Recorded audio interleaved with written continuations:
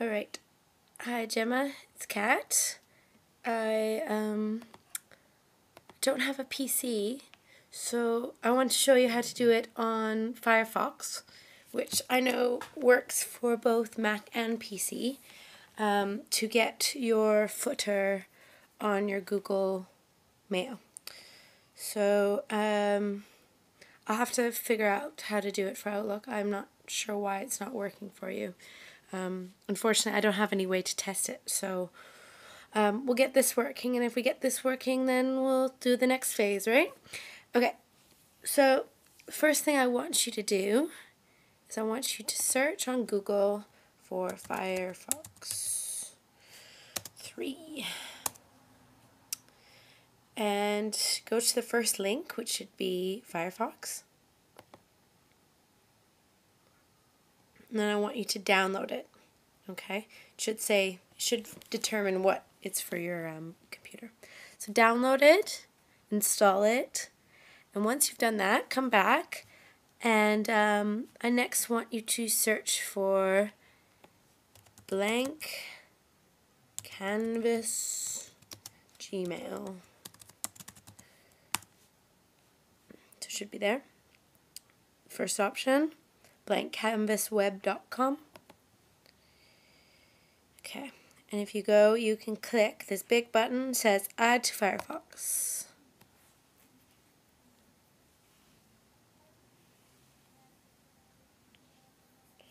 Okay, here you are. Um, this is great. This is really easy for you to add it. So, okay. I want you to hit Add to Firefox. If it says you need to log in, I'm going to send you my login details um, for this site and you can log in as me and download it. If not, um, yeah, I mean, phone me and I'll figure it out. So you add it to Firefox.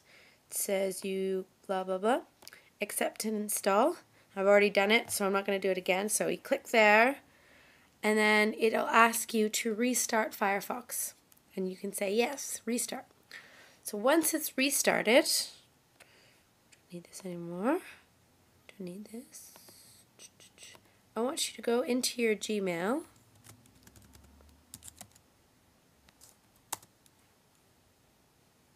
My Gmail.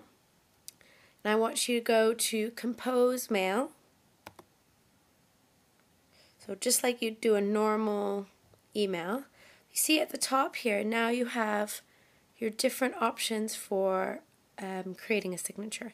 So that you can have it as your default, your business, your family, and your friends. I think having it for your business is best. Okay, so put it on business and then hit create signature. Now it's asked you for some code. To get that code, um, I want you to download the footer.html.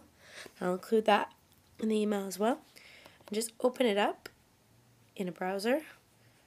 Don't copy this. I want you to go to the menu up here, go View, Page Source. I want you to select everything in the thing.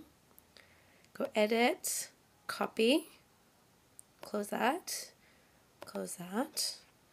Then go back into here where it says Signature HTML code. Then I want you to hit Paste. And then over here, Save Signature. It should appear. So let's do a test.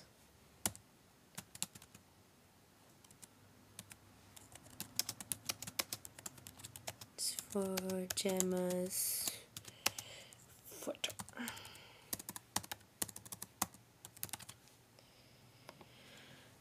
This is a test. Sent. Okay. Look in here. Got it. There you go. So it seems to work for that. And that's it. So I hope that works for you. Um, I really don't know what to do about the Outlook. Um, if you let me know what you're using, I'll force uh, Lewis to sort something out. I'm really not happy with him not sorting it out. Um, yeah, so I'll talk to you soon. Okay, bye.